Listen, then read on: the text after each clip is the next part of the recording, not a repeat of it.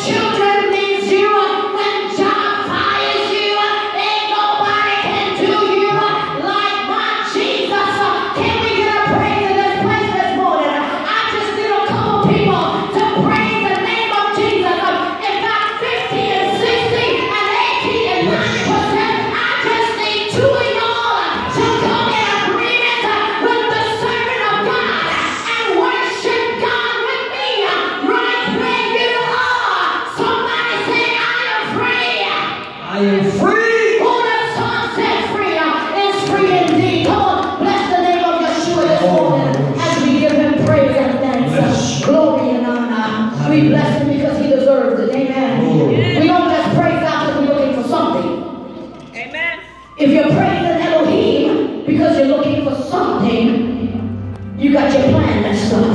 Yes. We praise him because he deserves your